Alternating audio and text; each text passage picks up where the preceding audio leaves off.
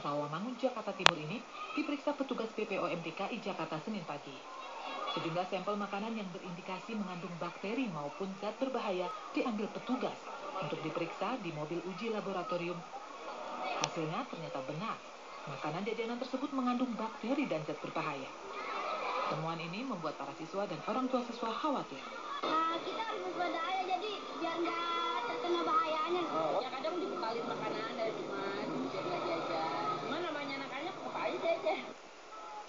Untuk itu disarankan para siswa membawa makanan dari rumah karena lebih sehat dan higienis. Dalam kesempatan ini, petugas BPOM juga melakukan sosialisasi kepada para siswa dengan menunjukkan contoh makanan berbakteri dan berbahaya agar anak mengetahui makanan yang tidak layak dikonsumsi. Dari Jakarta, Rio Manik melaporkan. Pemirsa Majelis